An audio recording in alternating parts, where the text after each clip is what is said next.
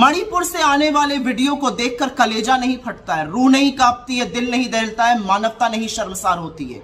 मणिपुर से आने वाले वीडियो को देखकर लगता है कि इस देश में चलती फिरती और सड़ी गली लाशें हैं। और असलियत यह है कि इस देश के प्रधानमंत्री ने सत्र से पहले आठ मिनट 25 सेकंड का संबोधन किया और मणिपुर के लिए उनके पास मात्र 36 सेकंड थे। मणिपुर की बात पर वो कहते हैं कि उनका दिल दुख से भरा और क्रोध है।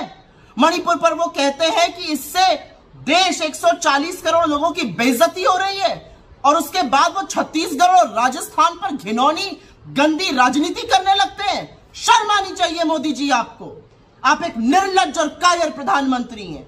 उस वीडियो को देखने के बाद अगर आपके पास मात्र 36 सेकंड का वक्त है और आप सभ्य समाज की दुहाई दे रहे हैं तो दुर्भाग्य है इस देश का कि आप इस देश के चुने हुए प्रधानमंत्री हैं। और असलियत यह है कि उस वीडियो की हैवानियत, उस वीडियो की दरिंदगी में जितने वो सैकड़ों दरिंदे जिम्मेदार हैं, उतनी ही आप और आपकी सरकार जिम्मेदार है। अगर समय रहते हुए आप मणिपुर पर बोले होते, आपने मणिपुर पर कार्रवाई की होती तो 77 दिन पुराने वीडियो को देखकर इस देश की आत्मा कांपना उठती।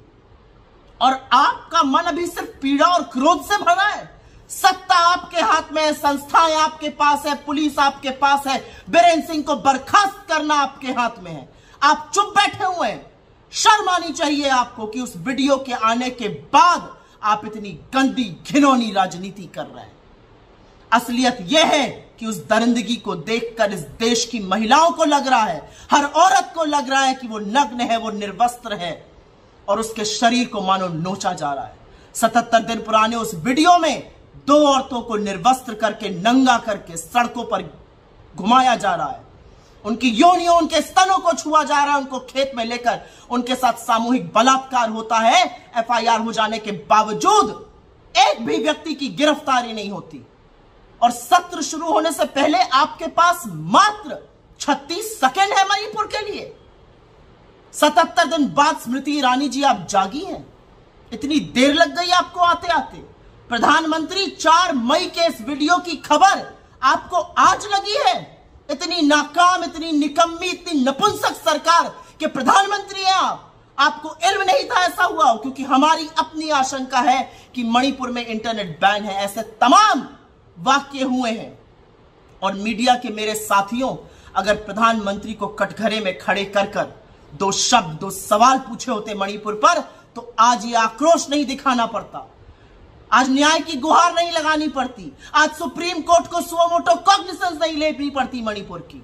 लेकिन प्रधानमंत्री, आपकी चुप्पी से ज़्यादा शर्मसार करने वाले तो आपके वो दो शब्द हैं जो आपने मणिपुर पर बोले। आपका दिल पीड़ा से भरा है। आपको क्रोध है।